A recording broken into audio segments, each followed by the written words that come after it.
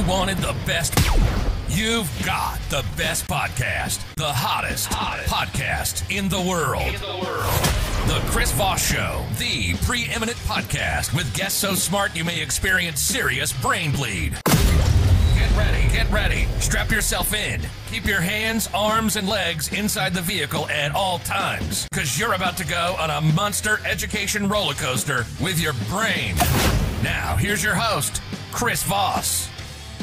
Hi, folks. Chris Voss here from the ChrisVossShow.com, the ChrisVossShow.com. Hey, we're coming here with another great podcast. We certainly appreciate you tuning in. Be sure to see the video version of this conversation. You can go to youtube.com slash Chris Voss, hit that bell notification button for all the different things that are on there. You can see all the wonderful interviews we have with these brilliant authors we always have on. You can also follow me on goodreads.com slash Chris Voss. We're setting up a new book club over there so that people can see our reviews and we can talk about all the good stuff. Our newest syndicator is uh, Amazon Music. You can uh, check that out as well. And there's one thing I'm forgetting, but I'm sure that my audience will remember it thechrisvossshow.com uh, or uh, thecvpn.com. You can subscribe to all nine podcasts. Go over there and check it out. Today, we, of course, have a most brilliant author on. She's written uh, one of the newest books that just barely came out September 22nd. She's written several books, in fact. Nina Burleigh is a New York Times bestselling author of six lively acclaimed works of creative nonfiction. Her latest book on Trump and women was published in October 2018. She has published and written hundreds of works of journalism, essays, and book reviews on a wide range of topics, including culture, politics, gender issues, science, and the environment. Welcome to the show, Nina. How are you? Good, thanks, and happy to be here. Happy to have you as well. Give us your plug so that you can we can find you on the interwebs. Well, uh, www.ninaburleigh.com is my website. At Nina Burleigh, N I N A B U R L E I G H, is my Twitter handle. And I have a Facebook page for my books under my name. So look it up and you'll get updates on the work that's underway. There you go. And be sure to order her book. You can get it on Amazon, a lot of different sellers. The Trump Women, part of the deal. Uh, so, what motivated you want to write this book, Nina? Well, Chris, I was um, in the Hilton on election night 2016 at 3 a.m., having made my way through the um, the chanting throngs of, on Sixth Avenue of people shouting "Lock the bitch up!"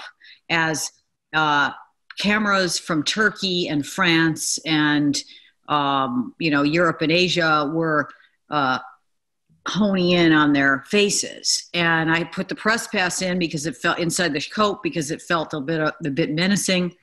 And uh, I got in. I went up to the uh, the party room, and um, the music there. Now it was a very it was a very crowded room. Earlier in the night, of course, people thought he was losing. Um, and the music strikes up.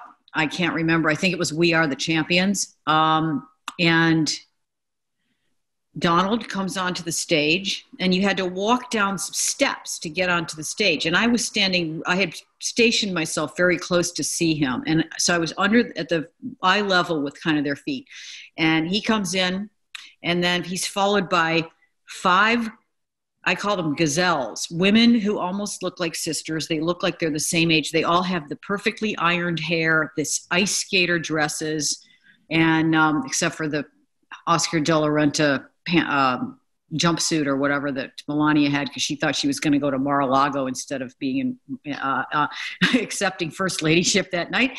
And um, I looked at them for the first time, really thought about like, who are they? And I watched them come down the steps in these four inch heels. And I thought, because I was eye level to them, and I thought, you know, most women wearing those shoes have to look down at the stairs, and they didn't. And that was the first sort of inkling that I had that they're, they're, they have an internal rigor that you that they they kind of hide because they have to be they're around this oaf they're his they're his brand accessories they have to look like these ultra feminine plastic fantastic Vegas showgirls but there's something about them that you know they have practiced that and so and and at that moment I thought also of my 13 year old daughter at home who thought Hillary Clinton was superwoman. And I thought about how the face of American womanhood and our role model for our daughters within a space of two hours had gone from, you know, granny with bad hair days in a pantsuit to these plastic, fantastic Vegas showgirls surrounding this oaf. And I thought, what, who, who, who are they and what makes them tick? Because I really hadn't thought about them before. And that was the impetus for originally just sort of a, a news or a Newsweek cover story. And then the whole book, uh, uh, Simon Schuster asked, asked for more and I delivered it.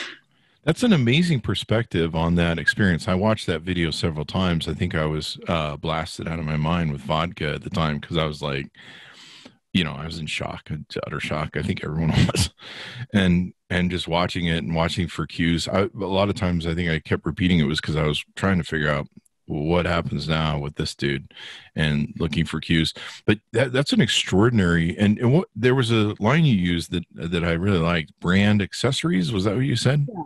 So when I talk about them, I, I, you know, what I learned from the research is that um, at some point in his life, probably after the first wife, uh, first first wife was Ivana. After he was divorcing her or splitting up with her, and and hooking up with Marla Maples, who wanted to be an actress, who was very much younger than he, than he was.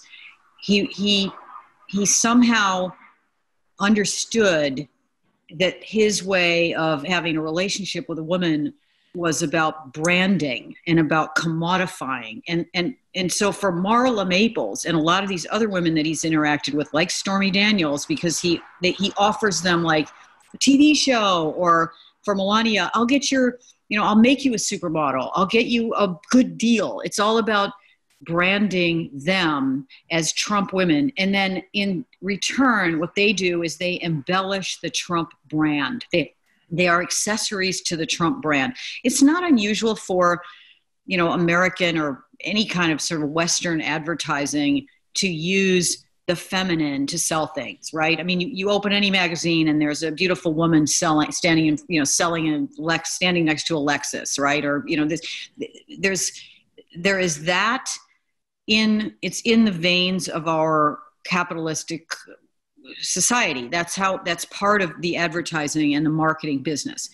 But he made an avocation of it. He became a pageant impresario. He he liked to move herds of young women around. He liked to be able to go into their uh, dressing rooms. Ownership um, ownership of women um, also, that's also part of the New York modelizer scene, where the you know he was not alone in that. I mean, F- Epstein is the far end of the of the extreme pervert pervert end of that, but there were lots of men in New York in the '90s and still now in, in Wall Street who, you know, it's it's all about who has the hottest babes, right? And that is a that is a it, it, it's a competitive, uh, uh, it's a sport. Um, and he was he was practicing that. But to get your own pageant and to get your own model agency so that you can just call up 10 of them to come over and say you know walk on my table without your underwear on at, at this restaurant or something. I mean that, that's what they were doing right? And and and it's it's a kind of a legalized trafficking. Um, and he is he is the the the avatar of that.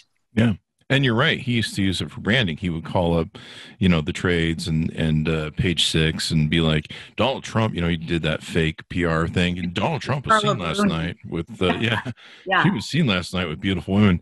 The, the, the imagery that you evoke, though, of them coming down the stairs reminds me of a lot of like, uh, uh, you know, coming from Vegas, our, our mayor uh, Oscar Goodman, who was a, who used to be a mob lawyer, defending him. Uh, defending mob people. He maybe should have defended Trump too. But but he goes. He used to go around as mayor for eight years with with the with the trove of these. Uh, um, uh, what do they call them? The girls from Vegas. The the dress up with the feathers. Yeah.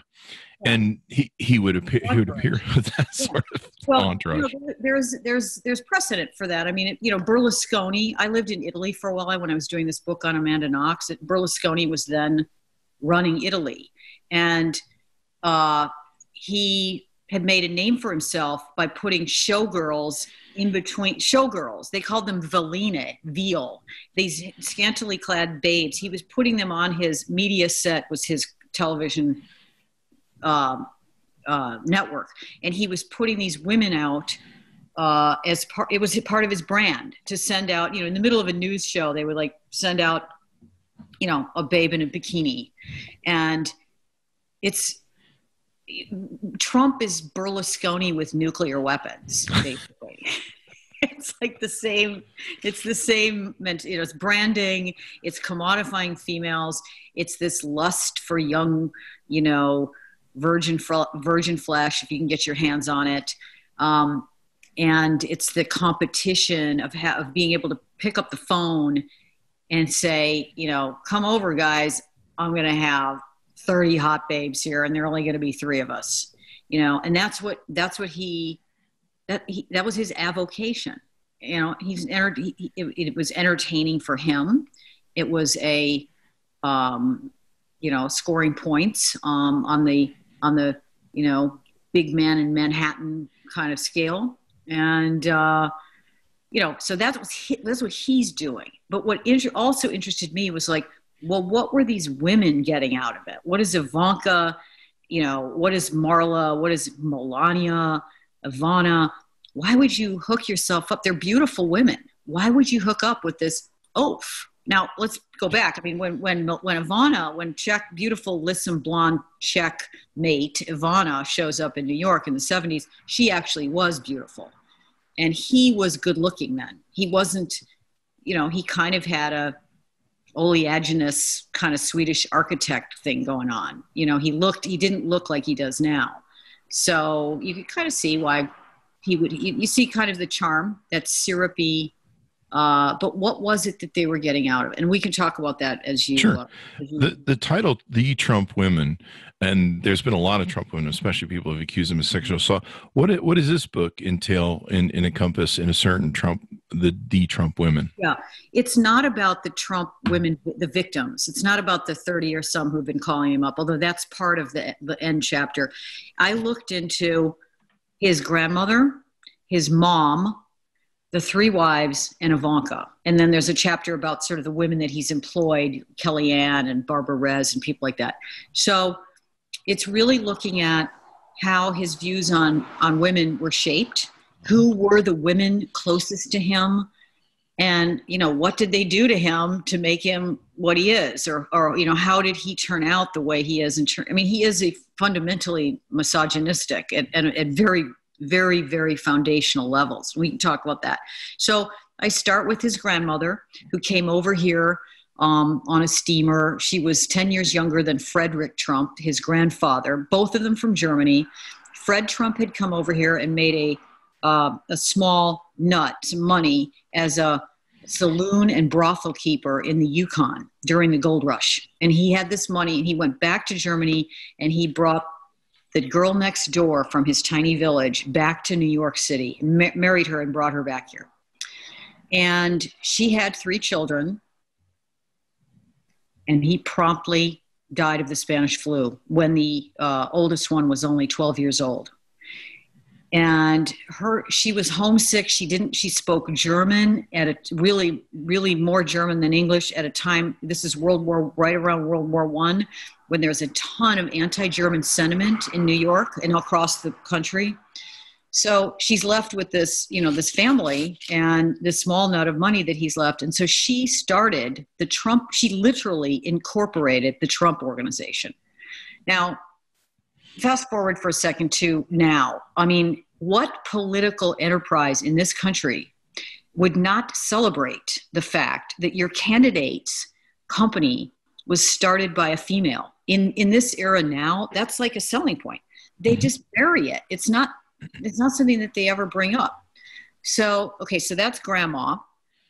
And then, and we can talk about her if you want to later. Old world values, um, probably very prudish, very maybe Nazi connected people. I don't know. They're one of the certainly her, her brother's children fought for Hitler. In uh, they're buried in. Uh, I went over there and did research. There's definitely Nazis in the family tree, and then um, and then his mother, uh, Marianne, came over from the an island in the Outer Hebrides that's closer to Iceland than to London. It's she was the tenth child of a fisherman. Basically, grew up in muck boots. Probably had one dress. Got to eighth grade in education and followed her older sisters to New York in the 20s to work as a domestic. In those days, the great families, this Gilded Age, 20s, uh, you know, roaring 20s, the great families of New York like to have servants from the British Isles. And there was this whole community of them Brits, Irish, Scots. She comes over, hooks up with her older sisters. They get her job, this job at her first, her first address in New York City is as a domestic in the uh, the mansion uh, of of the Carnegie family and Carnegie's widow, Andrew Carnegie, the steel magnate, one of the richest man in America at the time. So that's mom. Now, when Donald talked about his mother, he says she came over on vacation. She was on a holiday. No, she was polishing banisters in the Carnegie Mansion for one of the richest people in New York, in the country. And again, when the chil- when Donald Trump went to meet the Queen at Buckingham Palace in the summer of I think it was 19, the children went with him. Ivanka, Donald, Eric. Tiffany, I can't remember. And those kids got to meet the Queen. Again, any other political enterprise in this country would have had a press release out announced celebrating the grandchildren of a maid are meeting the Queen of England today. That is the definition, the manifestation of the American dream. They don't even acknowledge this fact. They've never acknowledged it. The, the Times picked it up, put it on in an A1 story. I found it. It's one of my one of my discoveries the, for the book in the New York Census, in ni- the 1929 New York Census. Um, they've never acknowledged it. So they're an odd clan, right? Because then he marries, because in his ears he's got that all of those accents, all those women speaking with accents. His first wife comes from Czechoslovakia okay, Ivana, um, we don't spend a lot of time thinking or talking about her. She's kind of a joke. She's, you know, she went on to a life of, you know, QVC, shop, shopping channel, getting drunk, falling down. She's got too much plastic surgery, and she's his his age. And of course, that means he cannot be photographed next to her ever, because that's part of the brand. He wouldn't want to be photographed as she's the Dorian Gray, picture of Dorian Gray. But she's actually rather interesting because she got out of Czechoslovakia in 19, in the, at a time in the 19, late 60s when it wasn't easy to get out. It, it was the Soviet bloc. Um, so she had some special access that allowed her to come here. She was collectivist educated, meaning, you know, hardcore communist education. She was Russian speaking. She spoke Czech, of course, but she was Russian speaking enough that she was going to translate for Raisa Gorbachev, Gorbachev's mm-hmm. wife. Um, and she, the main thing is, Chris, she habituated him to the Slavic world. He would have never gone to Russia in 86 which was the kind of beginning of his interaction with Russia and people who believe that he's this puppet of the Russians. That's where it starts. That's when he becomes, but he had been in and out of Czechoslovakia for years before that because of her. So people overlook this, but mm. she's like the perfect checkmate. She's a honey, she's a honeypot. Um, and, and the Czechs that I met in Prague who were, who studied that era said, very unusual that this woman was able to get out when she did. Um, there's more to the story. Let's just put it that way. I think you bring up a really interesting topic that no one talks about. I mean, maybe that's why he's attracted to Putin. Oh, um, but no, but seriously, I mean the the Czech connection, the Russia connection, uh, and stuff like that. Um, yeah, I, I no, I've never heard anybody talk about it, but that is brilliant. Thanks. Yeah. I uh, to, I find to, it interesting, and I, I, think there's you know it's just because she's kind of a you know older and and ditzy, and people don't really spend much time thinking about her. But you know, if you're going to talk about Trump and Russia, you have to go back to the beginning of that. This guy was provincial. He lives on cheeseburgers. He didn't want to leave. You know, he wouldn't have left New York, mm-hmm. right? Mm-hmm. He yeah. doesn't like he sleeps in his Bedminster golf course, uh, golf clubhouse or the mansion there. He doesn't want to go anywhere. Yep. Uh, what was interesting, I don't know if you validated this, but this was in uh, with the original mother, uh, I believe uh, Elizabeth and Mary. Uh, well, Elizabeth was the grandmother, and then Mary, yeah. Mary, Mary, was yeah. the mother of of uh, Fred, correct?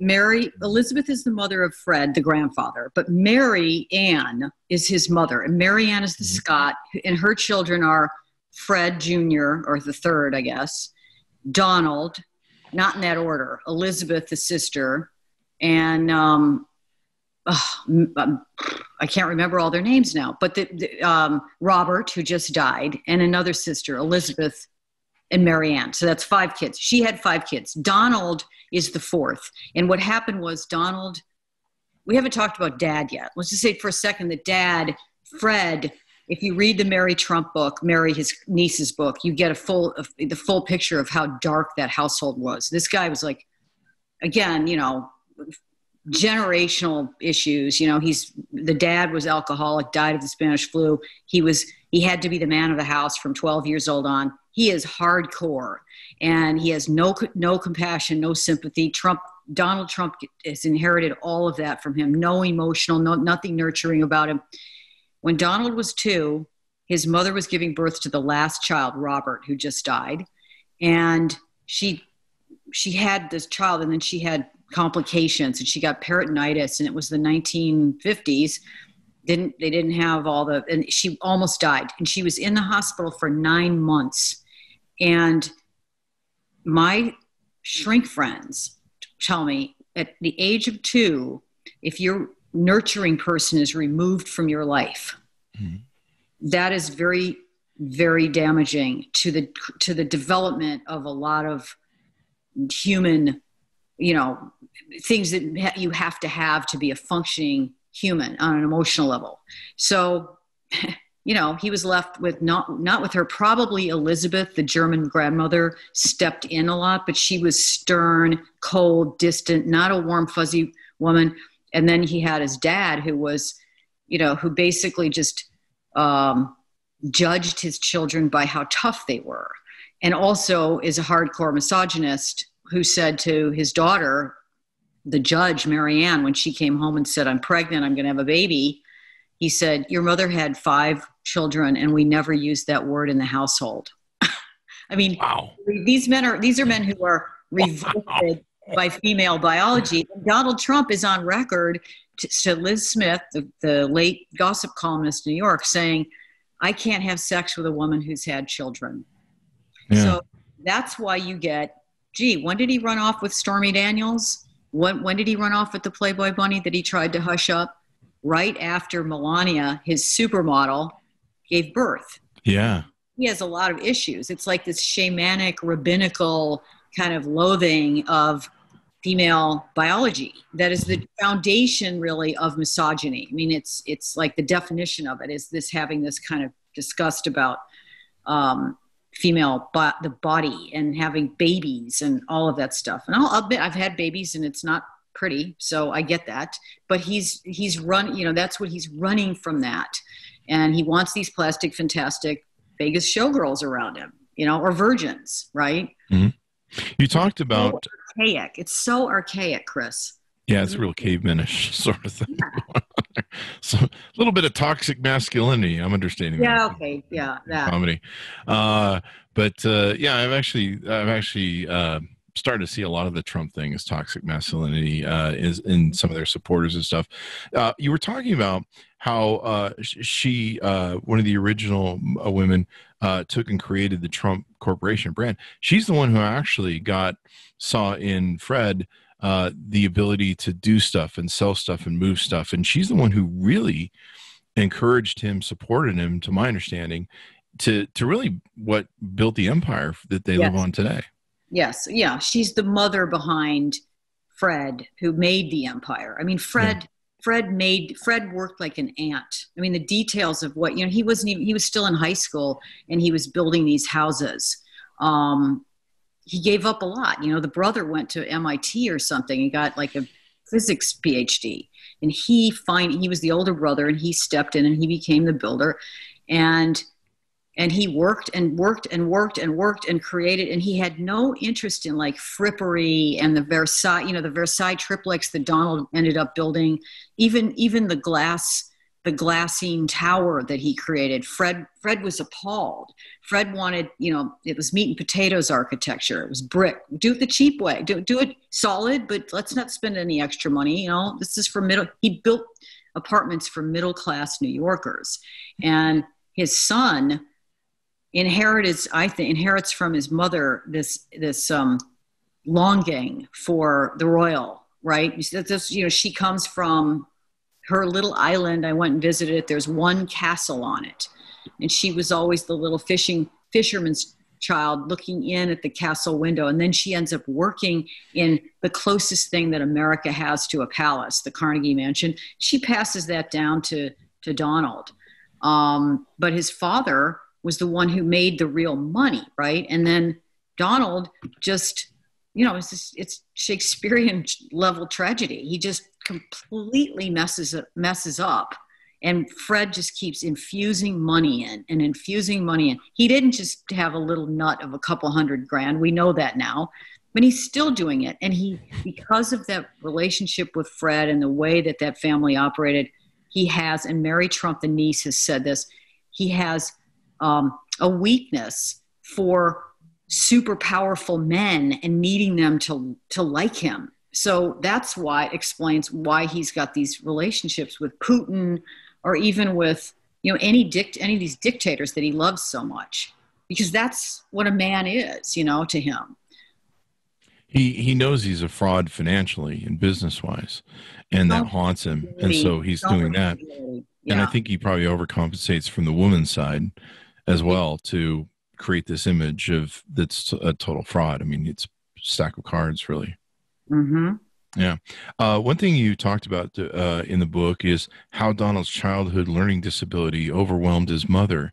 I was surprised to see that. I've always thought he was stupid, but this is my opinion. But but tell us a little bit more about that.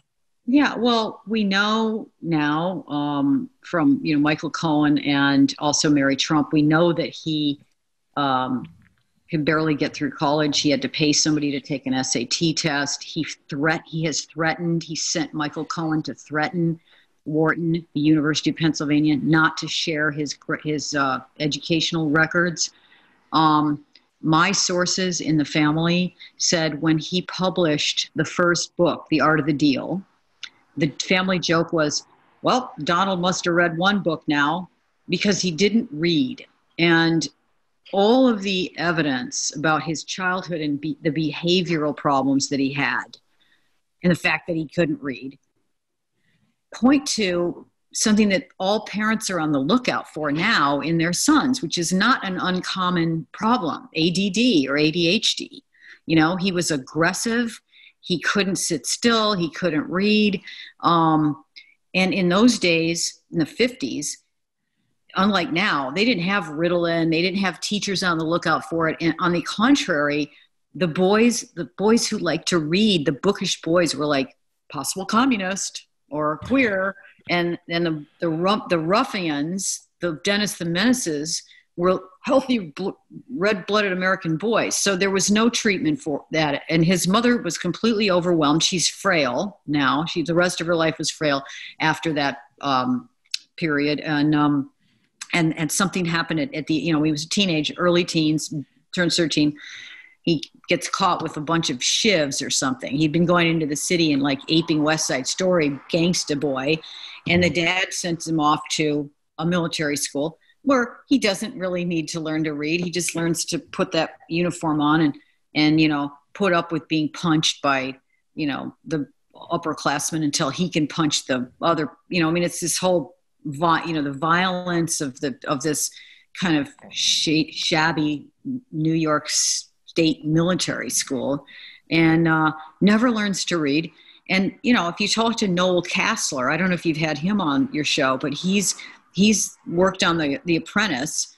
Uh, he was a celebrity wrangler for years, and he's he's on the record saying, you know, and to me, I mean, I interviewed him later. It's very difficult to, to back this up because you, all of Mark Burnett's former employees are terrified to talk. But he's out there. He says, we would they would hold up a card you know his in his early tv days they'd hold up a card with things that he had to say and if there was a word that was longer than two syllables he'd flip out in a rage go to the bathroom and come back with like white stuff in his nose and he was snorting adderall yeah um and, and at some point and i think i know what point it was i think it's this dr feelgood that that uh, dr bornstein which you can google and see that he, he was his doctor at some point, I think Dr. Bornstein must have said to him, Oh, you like diet pills? Well, and you're having a problem reading. This is probably, you know, why don't you take some of this? I'm just totally guessing. I don't know. We know from the photograph of him in the Cinco de Mayo, when he's talking about his Cinco de Mayo salad that he posted in 2016, in the back, you can see piles of Sudafed boxes in a drawer. Oh, you can? I yeah. look at look it up. Look at that. Uh, I'm I'm friends with Noel Casler on Facebook. He was supposed to do an appearance. We had him scheduled, and then his internet went down, and uh, we need to get him rescheduled. But uh, but uh, yeah, in fact, I think there were a couple of people that kind of slightly validated it. I, the Roseanne Barr's ex-husband. Uh, yeah, Tom Arnold has. Yes. Tom Arnold kind of like said, "Yeah, yeah, yeah, he yeah. he did it." And then uh, the red-haired comedian lady. I don't know. I'm horrible with names. I'm great with faces. Um, the red-haired comedian lady who actually got in trouble for holding up the the decapitated oh, right. Donald I don't know why I remember. It's Kathy Griffin. Kathy right? Griffin, really funny. She had been on the show. Yeah. Uh, but yeah, he's talked about it. In fact, uh, one of his tweets, he showed one of the reasons Trump wears makeup is his part of his nose, kind of doing this backwards, uh, shows a scar for surgery for a septi, sep, deviated, deviated septum. septum. Yeah. yeah. I, I don't, I never heard that, but that wouldn't surprise me. Wouldn't surprise me at all. I mean, he's clearly on out. I mean, you remember the Clinton thing? I mean, he was just snorting the whole time. Yeah. The Clinton debate, um, and uh, and then afterwards, he like goes, uh, "She was probably on drugs during that time," and you're like, "Well, Mr. Projection again." Always so, projecting. He did it with Biden the other day. He said they're yeah. probably going to shoot him with something before he uh, inject him with something before he goes on. And you're thinking, "Yeah, there's probably a Dr. Feelgood in the White House who's giving him a little feel good shot." Some some amphetamines because it's what it is. It's amphetamines. He needs yeah. that. Yeah, I, I always thought it was weird that a guy like him, with him his much money, didn't have a vice because he's like, I don't have any vices, and and you're like, yeah, whatever. Uh, part three of your book it gets into the Marla Maples era. I guess we can call. uh, anything interesting coming out of that era? I'm sure. Well, I mean, it's, you know, like I, I kind of talked about it in the, in the beginning. Um, I think that is the era where he learned that he likes to mold women into the Trump branded ideal. So in a, the Pygmalion, right, the My Fair Lady Pygmalion sense, where he had this young woman who desperately wants to be a movie star or a, or a model or an actress, and he can give her that, and he sort of he, but only if she is completely compliant with this look that he wants her to have and this you know participating in this you know his accessory and the commodified trump woman look. And what happened was marla wasn't on board with that. Marla's a nature girl right? Marla's the you know the or oh, today i mean she has her own you know spirit hodgepodge podcast, new age, you know, I call it the like Dixieland gumbo of, of new age spiritualism. It's I love your analogies. Together. Um, but she was at that time already getting into that and she wanted to wear mom jeans and tennis shoes and carry the baby around and um, in the, you know, and not dress up. And he, she wasn't playing along and, and that was not, that was never going to work. Uh, and she was trying to mold him into the, you know, awakened Donald awakened to uh, anyway so that that's that's the failure of that that's that's the root of that the failure. I mean i think um yeah that's all i'm going to say about her. She's she's you know he he didn't he sent her packing with um you know kind of a, a cheap prenup. Their kid tiffany uh, you know, they, Marla moved to California with Tiffany when Tiffany was three or four, I think. And I think Tiffany, somebody told me he saw Tiffany a maximum of like four times in her life before moved back to the East Coast to go to college. So typical absentee dad. You know, that would be hard. Uh, For one thing, if your dad leaves and you don't see him ever again, that's one thing. But if you're seeing him on TV, you're seeing him do all this stuff, you're like, why does he at least call me? Um, the if I recall correctly, uh, correct me if I'm wrong, he divorced Marla, and and Marla was like his first real contract prenup, like basically paid for bride, locked up with a uh, super contract. I believe he left her because he was like within a few months of hitting the 10 year mark or whatever. There was going to be some new payout mark if she Yeah. passed it. Yes, I think he did. I think he did time it to that. Uh, of Ivana, though, he also had prenups, but Ivana kept having him rewrite the prenup. Mhm. And um, you know, again, he she faced she faced the divorce divorcing him at a time when he was in massive debt. She, you know, the, the Ivana leaves and his his whole career just cratered. She was kind of holding it together, and she did have a prenup. She got a bit more money. She was able to buy herself a yacht and I think a townhouse in Manhattan, some houses in San Tropez. She was okay, but it wasn't a huge amount of money. She she had tried to live like a mini Donald, and she had a kind of a shabby life after a while. She wasn't as rich as anyhow. So that was she, but she had a prenup. But but yeah, Melania. I mean, sorry, Marla got sent packing with with a very minimal. I, I don't remember what it was, but I mean, a million dollars or something. It's very small. Yeah. Yeah, I mean, he was he was already well on his way to the next one. Yeah.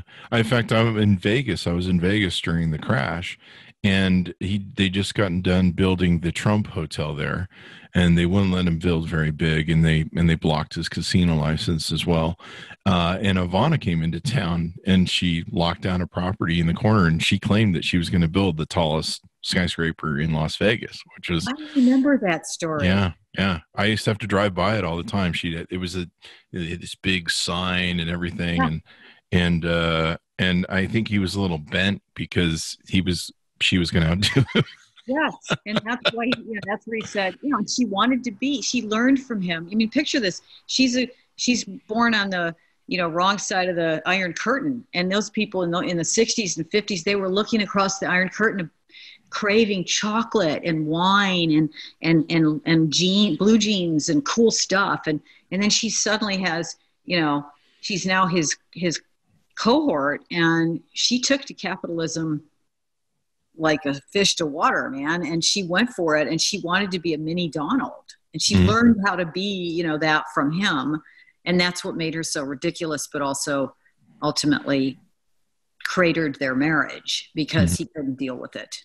Yeah, competition's bad, and you got to Yeah. keep her in the back seat with his sexual, um, with his sexist nature.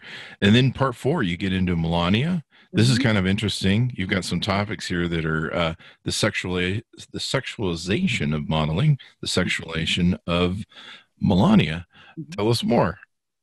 Well, you know, Melania comes of age in uh, comes of age in just as the wall falls, and she's an Eastern again on the Eastern European side, on the Soviet bloc side of the um, the divide. Not quite Czechoslovakia, Yugoslavia was kind of in the middle, but still, you know, they didn't have access to the luxuries of the West. So she, you know, when she was a kid, like to have a Coke was a big day. They would have a sip and share it between them all, or having blue jeans from Italy was a big deal, and and she was a beauty. Um, but I don't think very comfortable in her skin. Um, also, I don't think she was somebody who was super interested in like the world. Um, she was, you know, kind of a, an introvert, and um, but she was beautiful. So they she got into the modeling business, and that at that point, when the wall fell, all of these Eastern European women and Russian women who were pretty were instantly commodified. Instantly, they they they took it on themselves actually because everything was for sale. Every now it's sex and money. In for for that once that wall fell, it was it was like you know people who had been deprived of water or something and suddenly they just every they, they just eh, you know so they come pouring out and what happened was this float european beauties called the they call them the natashas just came over to the united states and they wanted to be models and new york city was overrun with these goddesses these tall beautiful, high cheekboned, model looking women who, unfortunately, supply and demand, there were too many of them. You can't all be supermodels. And she comes around in that period.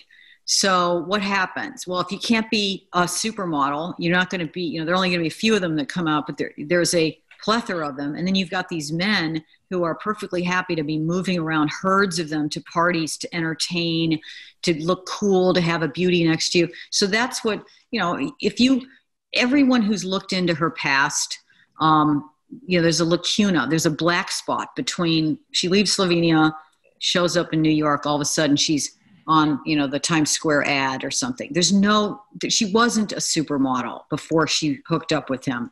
Um, she may have been doing catalog modeling. We don't know because those pictures didn't survive. They didn't go into the internet age, so you can't find them. My photo researcher found one picture of her in heroin chic, you know, dark circles under her eyes and this white fluff like a Kate Moss era kind of outfit on a catwalk. And that's an interesting picture. And then you start hmm. getting into the pictures that she took with Donald where she's half nude on the bear rug in the Oval Office, or she's wearing chainmail and S and M gear outside of a fake uh, Air Force One around 2000. Um, my source tells me, you know, the fake lesbian photos that were famous that were put in the New York Post during the campaign, probably to head off this kind of revelations. Uh, that photo shoot was in 95 or early 96 she was already telling people at the photo shoot, my boyfriend is Donald Trump. Well, that's not the story they tell. The story they tell is they met cutely at a, at a Victoria's Secret model party in 98, much later than when they actually met. So it's all murky um, what she was doing when she came over here, how she got here. Uh, of course, you know, there's the story that they tell, and they've got lawyers that, you know, but I, I don't know why they try to hide it, except that maybe because he was still married to Marla, maybe there's some issues with the um, immigration, or who knows? I mean, she's gone to great lengths to hide her past. And I went to Slovenia and I went to her small town and I tried to interview people, and people were terrified to talk to me. I mean, adult men, businessmen wow. were terrified. They were getting visited by goon squads. I'm not kidding. It was very, uh, very strange. Wow. Yeah. Did you? I, I I don't suppose the wooden edifice of statue of her was up. The wooden edifice wasn't up yet. Um, the interesting thing about her is, well, one of the many that, that both she and Ivana come from shoe factory towns. And her town, when you drive into it, there was a giant wooden shoe, like sort of like it was on a pillar, but it looked like it was floating in space, a huge giant wooden shoe. Um, and the townspeople, they were so proud that this woman had was the first lady of America. My God. So they were making like Melania wine and Melania cake and and um, she had a lawyer go down there and tell them to take her name off everything. Oh, wow. It's like, you know, again, like, what is that? You know, this is your little town that you came from. They're proud of you. At least let them celebrate you. Yeah. I just, you know, it's just baffling. They're a strange clan, Chris. I think they just burnt the the wooden statue too as well. They um, did, but they've now they've built a, a, a, concrete one, I guess. Oh, have they? Well, yeah. it'll probably go with her icy, her icy thing. So the biggest part of your book seems to be about Ivanka, uh, his wish wife. Sorry, that's my joke. Uh, the um, and uh, tell us about this chapter. What goes into this? Well, Ivanka is the first Trump to the manor born. She speaks with the prep school accent. She was raised in a palace, uh, not in Queens. She was uh, raised with a lot of money. She belongs as much as you can belong to the New York money set. I mean, the old money will never accept the Trump group, but the new money and the, the children of the very rich, um, she was part of that. She hung out with Georgina Bloomberg and, uh, you know, other, you know, scions of, of wealth and Palm Beach, you know, is an old money place. And so she is to the manor born. She is the ultimate extension of the Trump brand, the female she is i write she is the female future of the trump the trump brand's future is female um, she has she learned at her daddy's knee perception more important than reality number one. If people don't if people believe something don't correct them. Mm-hmm. I mean, writes about this. She's utterly strategic. She is uh, she comes into the white house you know it's a nepotistic system. So she basically has uh, unlimited portfolio technically an unlimited portfolio. She did she has kind of tried to find a lane um, in international development for women and job creation. Um, but um, the main thing for her is that she has used this time wisely in those heels going to conferences all over the world and meeting every world leader and every tech titan on the planet and getting their home phone number and their cell number and getting hooked up with them. So I guarantee you that even if he he fails in this mm-hmm. effort and is not reelected, um, and gets in a lot of trouble because if he's not reelected, the law, the jaws of the law are waiting. I, I think if she doesn't go to jail or get hooked up in all, snagged up in the legal issues, um, I think that the Republicans will run her as a presidential candidate. Um, you know, and, and she's, you know, she's done things to, she's been very clever um, with the, you know, the, the world, the GDP, what do you call it? GDP women program that she's done, uh, raising money for uh, third world women. Mm-hmm she gets good marks from progressives for that so she's all she's going to use all of that and and you know she's very well spoken and again that she's the she's the trump who is to the manner born um, and people when i say this to them they just shiver and are grossed out because she's him in a different body great that's just what we needed more of him. Uh, no, I agree with you. I, I, saw that early on. He was going to try and create a destiny, a, a dynasty, kind of like a, kind of like the Kennedy sort of dynasty, only yeah. only with Trump's. Yeah, and um, all in with that. Yeah, and I, I I just see everything she does. Every time I see her doing something on TV, I'm like, she's prep. She's laying a foundation to run for office, and yeah. she might win because she's beautiful. Uh, she certainly can articulate better than him. Of course, who can at this point? Two year olds can do it. Um, but uh, you know, one thing that's interesting to me is as I watch her, because I'm like, is she the narcissist like her father? Is she a hidden hiding monster, or is she really? Um, what's the what's the saying where you you get kidnapped and you decide to love your kidnappers? What's the term for that? yeah. Is she is she just a, a, subject of Stockholm? Has she been brainwashed by him? Um, you know, the sexualization of her was disgusting. Over the years, I watched. You know, I used to be a Howard Stern fan, and I would see him come on, and you know, just the comments he would make toward his daughter. I don't have a daughter. I don't have a son either. But that, to me, that's just creepy. Like that's just creepy, creepy. Um, one of the things that someone said to me is um because I watch her delivery and how she is, and I you know I just try and figure people out. I'm I'm really and, and she's hard to figure out because she puts on a good facade. Mm-hmm. Um, someone said to me that there's this there's this thing on the internet and i think it's uh, semi-erotic as near as i can tell. It's called asmf or something. It's where they whisper into stuff. They go oh there's a you know they and they they like just make sounds of them eating and crap.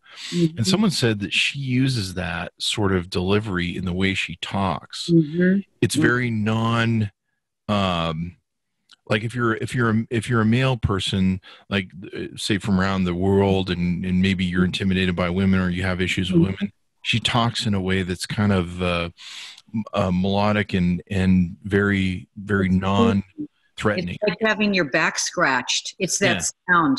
Yeah i know what you, i know i don't know what that acronym is but i know what you're talking about and i've never heard that but that's actually what it is.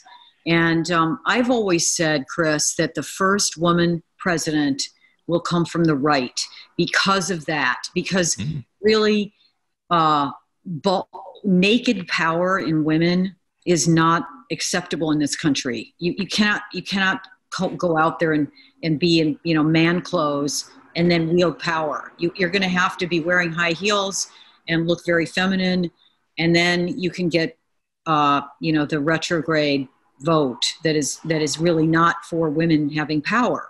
If you can cloak it, then you're okay. And she is going to do that. I mean, maybe I think, somebody else will beat her to it, you know, because the other the other right wing women all know how to do that too. I would agree with you completely. Uh, it's called ASF or ASM. I think it's audio sensory, but it, it's, yeah. it's, it's some erotic. There's a sexual nature to it. There's also yeah. just like you say, getting your back scratched or some yeah, like sort of peaceful meditation, sleep and stuff. Yeah, yeah.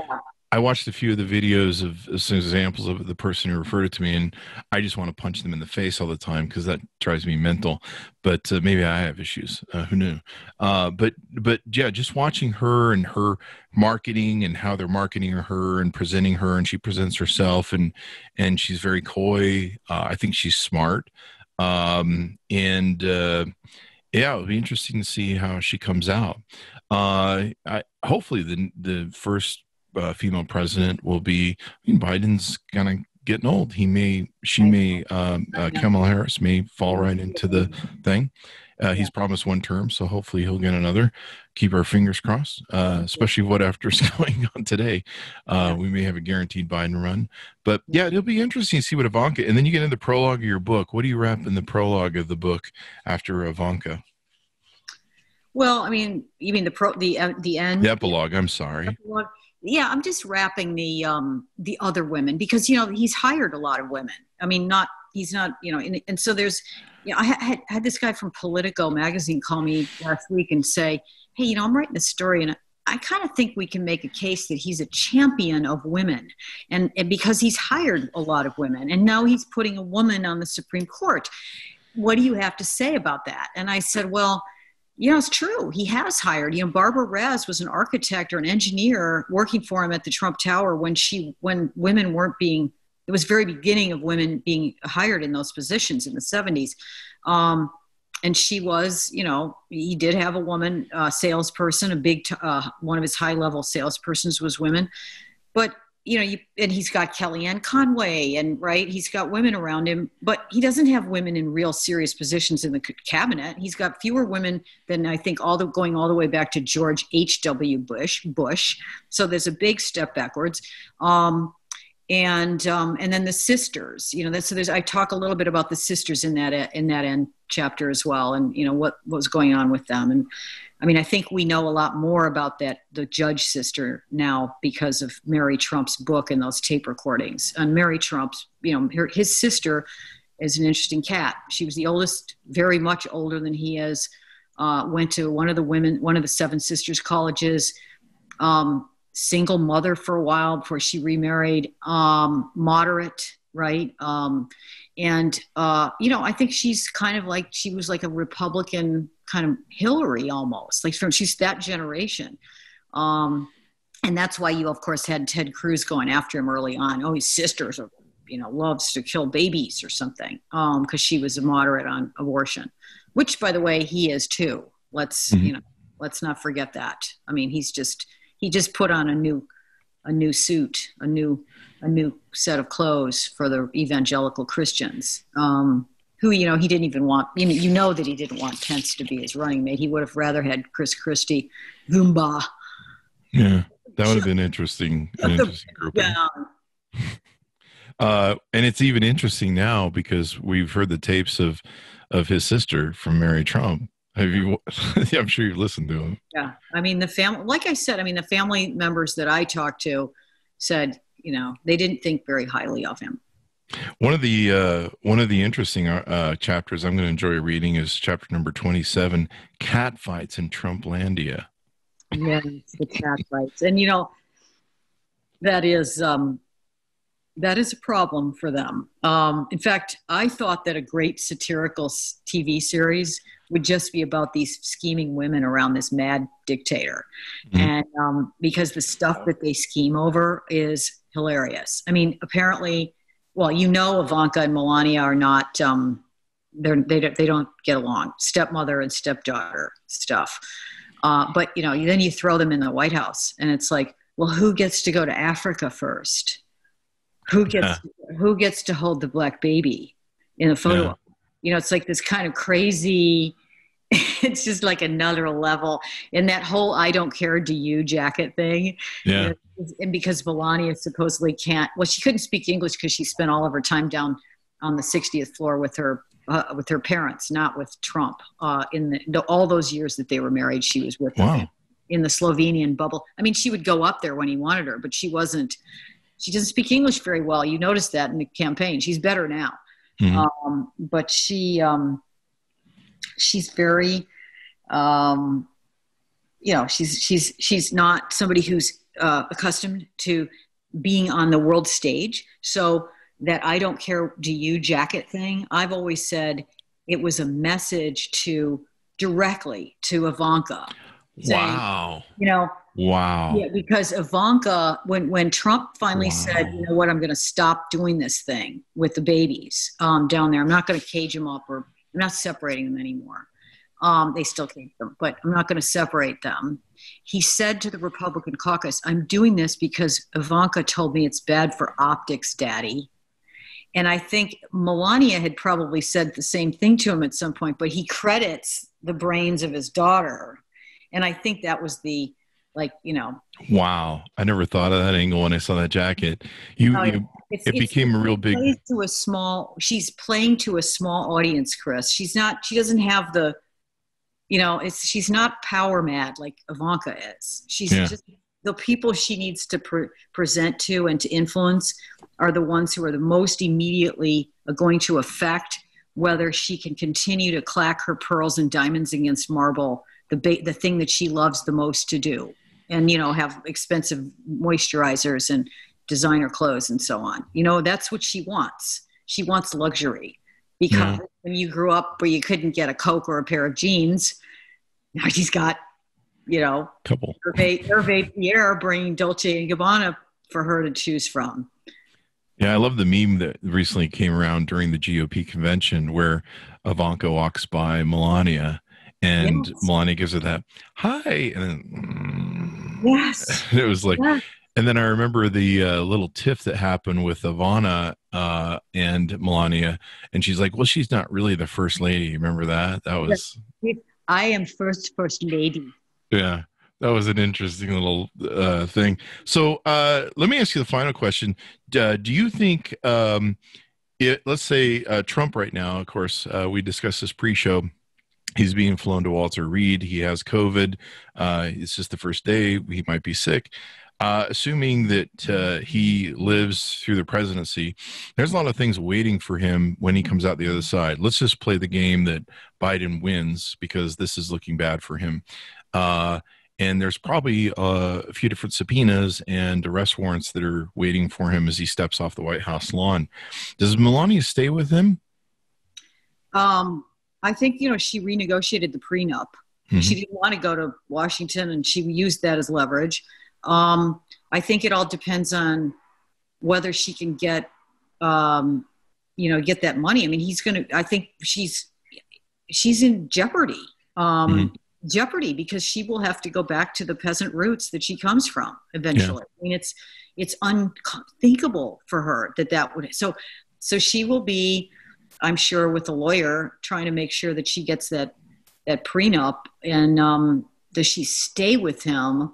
I think all depends on, you know, how much how much he's going to lose. And Yeah. you know, she's going to lose that triple X and you know, I honestly don't think that she stays with him. I think it's been a transactional situation all along. And once that's not there, uh, once he can't give her anything, um, yeah, it's pretty sad. You know, it's it's the story of the old man and the younger wife. And in the beginning, the power is all his, the money and the power, and the younger wife is the plaything. And then if they if she lasts long enough, he daughters, and she's running the show.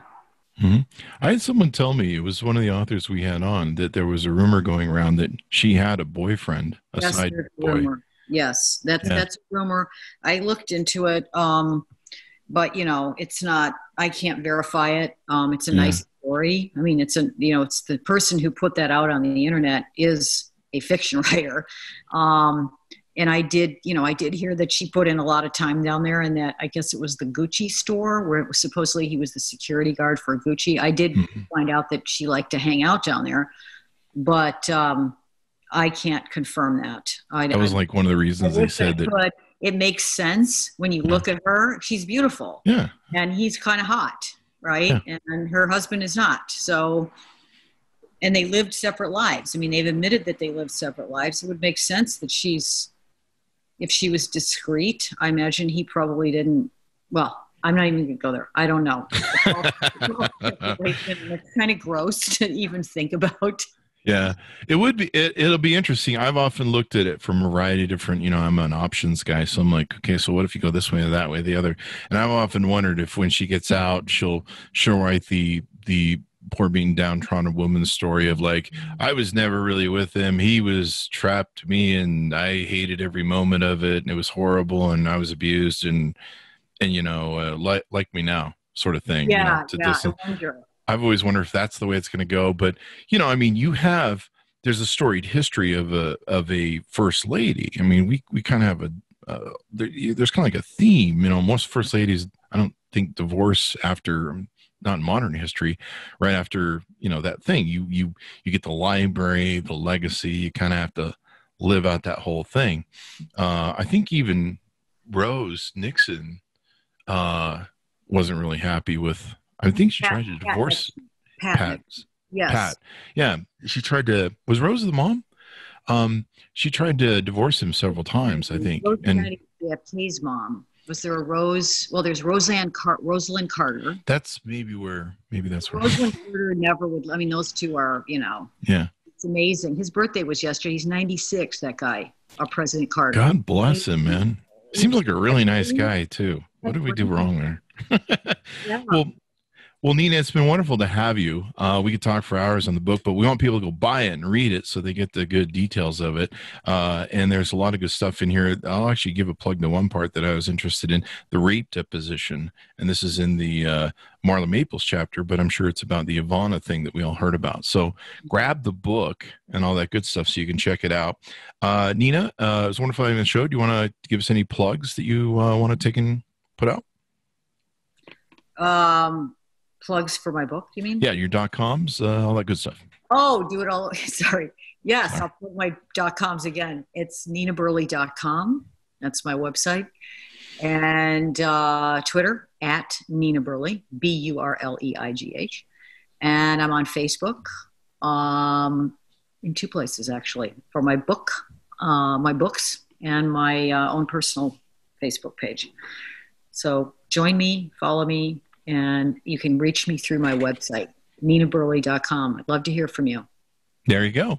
And guys, we've been talking about the Trump women, part of the deal. I like how that's uh it's like if you if you cover the P, it says art of the deal, part of the deal. That's really interesting.